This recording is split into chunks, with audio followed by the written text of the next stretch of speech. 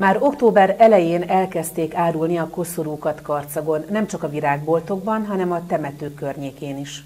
A mécseseket igen keresik, 150 forinttól van 2000 forintig, ez például egy 1000 forintos mécses. A roham még nem igazán indult be, de már az érdeklődés egyre nagyobb, nyilatkozta televíziónknak Mándi Jolán árus. A roham még igazán nem indult be, de már az érdeklődés egyre nagyobb. Igazából most a száraz koszorúkat keresik, de nagyon nagy az érdeklődés a sejemre is, ugye azok mindig árban olcsóbbak, és ugye hát kinek milyen az igénye. A vásárlási szokások igen eltérőek, bár már van kialakult vásárlói szokás is.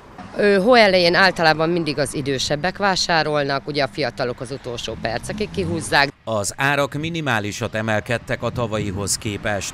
A legolcsóbb koszorú 600 forint, a legdrágább pedig 11 ezer forint jelenleg. Egyedi igényeket is kielégítenek, választék végig lesz. Választék végig lesz, de ugye tehát hiába mondjuk az idős néniknek úgyis megveszik időben. Nem csak a koszorúkat keresik, hanem a mécseseket is. Ebből nagyon sokat eladunk, tehát olyan 10-15 darabot általában mindenki megvesz. Nagyobbakból kevesebbet, ugye nagyon közvetlen hozzátartozóhoz, de a kisebb mécsesekből sokat eladunk.